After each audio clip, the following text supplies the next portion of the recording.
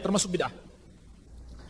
Tidak ada hadis dari Nabi sallallahu alaihi wasallam, tidak pula satu riwayat para sahabat melakukannya, tidak juga dari tabi'in, tidak juga dari imam yang empat. Silakan baca dalam buku-buku atau fatwa-fatwa imam yang empat Abu Hanifah, Malik, Syafi'i dan Ahmad tidak seorang pun mengajarkan ucapan niat atau merangkai ucapan niat. Usolli fardal maghrib. Terkait lafaz niat, Syekhul Islam Ibn Taimiyah dalam Majmu'ul Fatawa menerangkan, menegaskan dan juga selain beliau bahwa tidak ada satupun dalil dari Al-Quran, dari hadis, ucapan para sahabat, para tabi'in, tabi'ut tabi'in, bahkan empat imam madhab tentang dianjurkannya melafatkan niat di dalam seluruh ibadah. Bismillahirrahmanirrahim. Sholat dari dulu sampai sekarang masih usolli. Kok nggak berubah? Nggak berubah. Kenapa? Antum sebagai seorang dai berubah dong ibadah antum. Tanya dalilnya nggak pernah tahu, nggak pernah ada. Mana keterangan nggak pernah ada.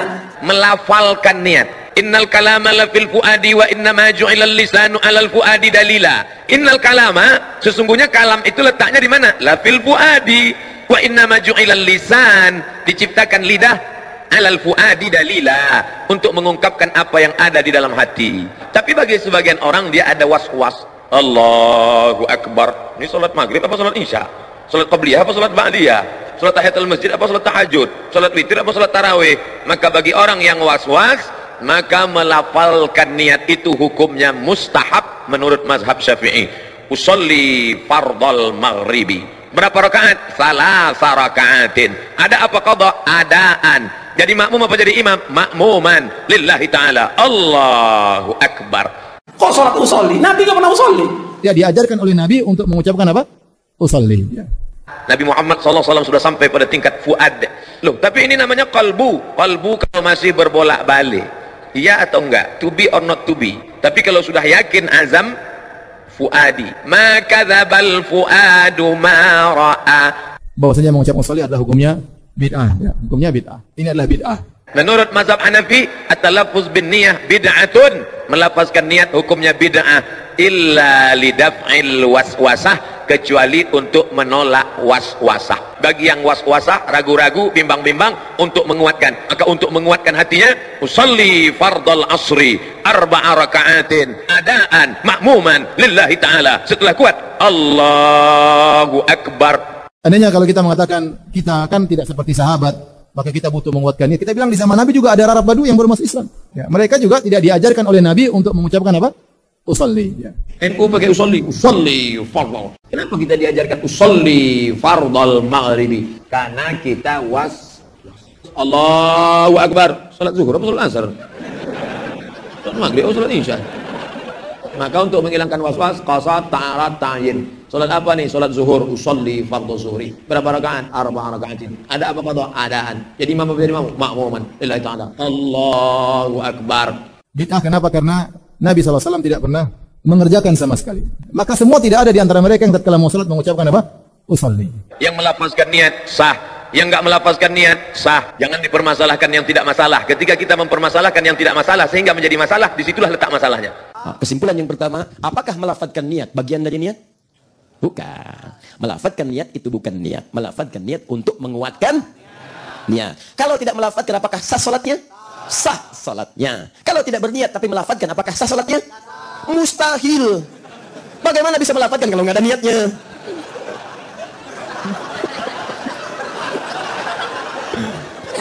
Ini belum lihat sudah menyimpulkan hukum. Yang ini menyimpulkan hukum pada sesuatu yang kita tidak pahami. Di pertanyaan yang salah itu melahirkan jawaban yang seperti ini. Pertanyaan sudah keliru kalau orang salah nanya nggak usah dijawab. Eh, saya ulang, apakah ketika tidak melafadzkan sah salatnya? Sah salatnya. Apakah kalau tidak berniat kemudian kita melafadzkan sah salatnya? Tidak.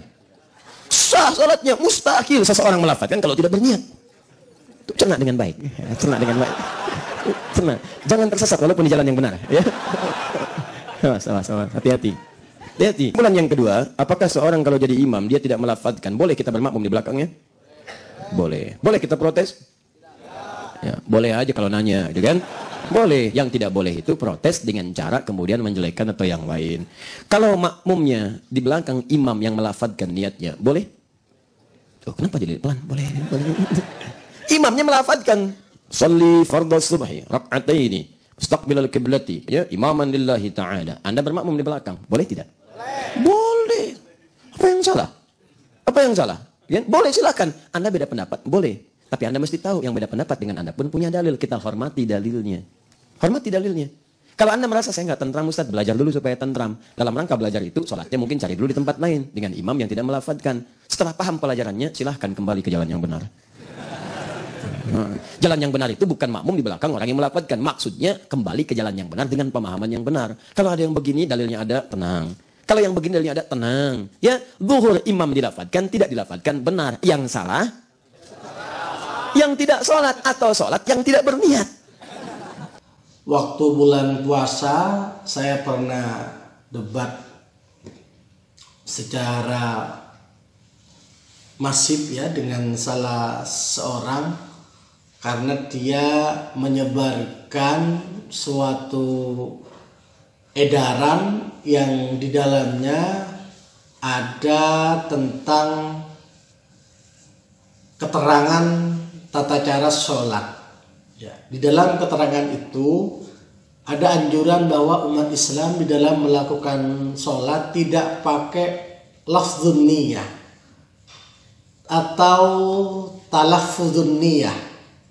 Dan di situ disebutkan bahwa itu nggak ada dalil sahihnya. Masya Allah, astagfirullahaladzim. Jadi saya kira pembahasan ini sudah selesai. Tetapi sampai sekarang ternyata pembahasan ini masih meruncing di masyarakat. Sehingga ada orang yang biasanya membaca usolli fardal jum'ati, usolli fardal zuhri. Ketika melihat selebaran itu tidak lagi bertalafut dalam niat.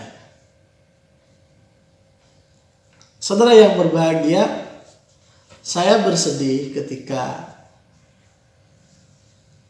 serangan ini selalu digencarkan kepada warga sunnah wal jamaah.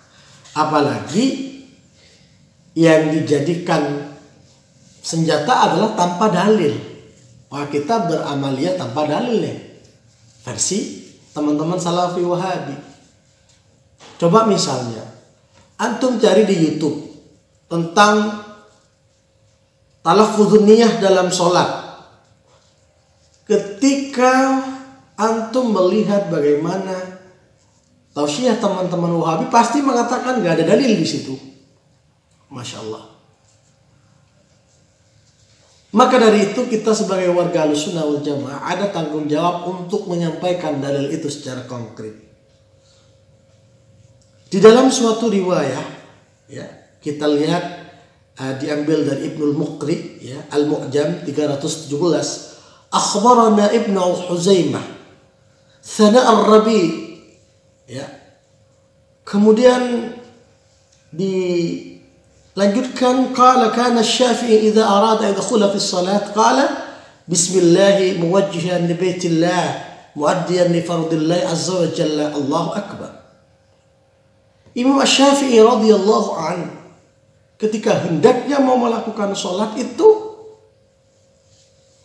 melakukan talafut an-niyah Mungkin ada sebagian orang yang tidak talafut niyah. Tidak masalah. Karena hukumnya adalah adalah sunnah. Maka usolli boleh. Tidak menggunakan usolli juga boleh. Dan itu wajar-wajar saja. Tetapi yang tidak boleh itu adalah ketika satu sama lain saling menghujat.